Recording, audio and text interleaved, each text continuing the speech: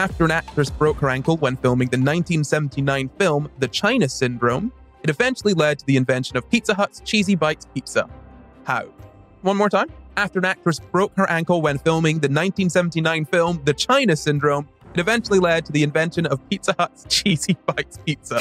I'm going to start us off here by saying I think that part of the reason the cheesy bites pizzas exist, stuffed crust pizzas exist, is because there's some in, immense tax break on dairy that's a hangover from the war in America, something like that. Is that correct? I mean, no, but it's in the right ish area.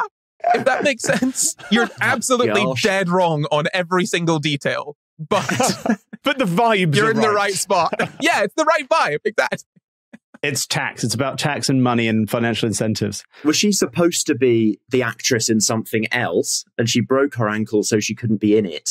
And that affected that made someone invent the cheesy bites pizza. Um, um, uh, there's a big leap in there, but I mean, it it was less about her not being able to be in something else and more about what she went on to do after breaking her ankle. She invented the cheesy bites pizza. Well done, Luke. You got no. no. I did it. okay, this isn't like. I, I- I'm going to drill down on what this pizza is, first of all. This is like having a tear and share extra bit round the mm-hmm. pizza. It's not like they've just stuffed the crust. They've got a whole rip off the crust here, and it gives you something that could have been cooked separately, but it's food innovation from the 80s. So, Yeah, I mean, I guess the the pizza itself isn't all that important to this. I mean, it might be easier if you know who the actress is. So she was in Nine to Five, on the Golden Pond or on Golden Pond, and Barbarella. Three films I have never seen. is that Dolly Parton? No, at Nine to Five, you would think Dolly Parton, but it's not. Yeah. It's not Dolly Parton. All right, you've got three men looking on with no idea of film knowledge here.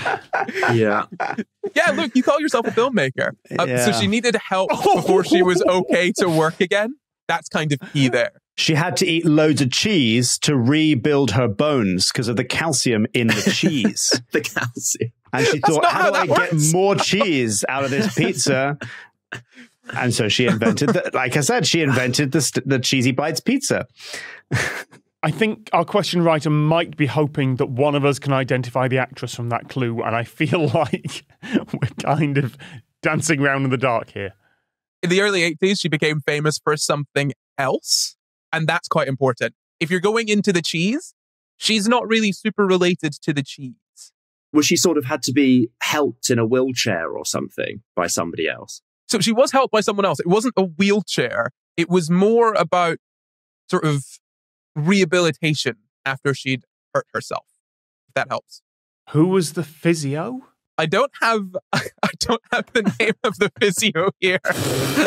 but but you won't know the name of the physio. You'll know the name of the actress who's actually very famous for something else in the 80s that's related to what the physio helped her with. Okay, did she, um, did she, for example, do lo- loads of exercise videos? Was she one of those like people who sold exercise DVDs? Spot on, absolutely. So she sold exercise DVDs. Uh, Well, video VHSs back Oh, then. uh, VHS, yes. VHS. So she sold, who was this? Who was that really famous lady? Oh, that's so annoying. Pamela Anderson? not Pamela Anderson. No. Okay, yeah. Not Olivia Newton John, is it?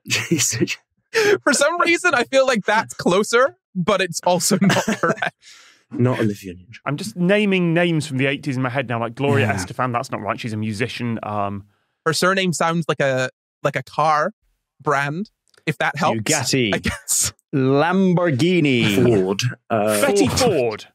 Betty Ford, who set up the clinics, but no, she was not an actress. Sandra Toyota. It, it when I say sounds, it rhymes with a car brand. Sandra Bloyota, famous exercise woman. Oh God, give us some initials or something. so her initials are JF. Jane Jennifer Fonda. Fox. Oh, oh, Jane Jane Fonda. Fonda. Exactly. Oh, okay. We got there. We got there. All right. So you've got the it's Jane Fonda and her exercise videos. How does that then relate to Pizza Hut stuffed crust? was she Oh doing my like a, a goop thing where she was saying that cheese is really good for you, actually? it's kind of the opposite of that, actually. So she was saying cheese is very bad for you. So that sort of gave it great press. So yeah, it is it is about the it is about the price of cheese and her sort of advertisements for certain dairy Oh my products. god! Okay, so she said that cheese is awful for you, which crashed the price of cheese, and cheese became really cheap. And then Domino's were like, "Hey, the cheese is really cheap. Let's give everyone more cheese." no, so you're spot on. It is actually about economics. So what happened was Jane Fonda broke her ankle and then she had sort of physiotherapy for that. And she got really into exercise. She made these exercise videos. And in that, she was sort of saying, you know, uh, go for semi skimmed milk, be healthier. And so people started going for semi skimmed milk. And then what do you do with the rest of the milk that has been skimmed? Ah. You make Mm. cheese. And so suddenly there was a lot of really cheap cheese. And then Pizza Hut bought up that cheese and put it into their stuffed crust. So Jane Fonda breaking her ankle indirectly resulted in the invention of Pizza Hut's stuffed crust.